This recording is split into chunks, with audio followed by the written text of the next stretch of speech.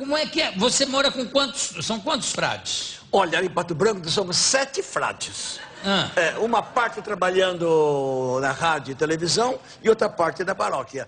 Nesta entrevista, uma das seis vezes que Frei Filipinho esteve no programa do Jô Soares, o entrevistador, humorista, ator, diretor e escritor falou por telefone com Frei Policarpo Berri, que faleceu há pouco mais de dois anos.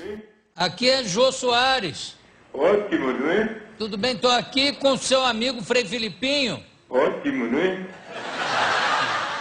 É para eu dar também uma mensagenzinha, né? O quê?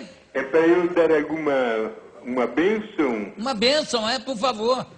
Jô Soares tinha 84 anos. Morreu às duas e meia da madrugada desta sexta-feira no Hospital Sírio-Libanês, onde estava internado desde o dia 28 de julho. A causa da morte não foi divulgada. O Pai e o Filho e o Espírito Santo. Amém. Amém. Amém.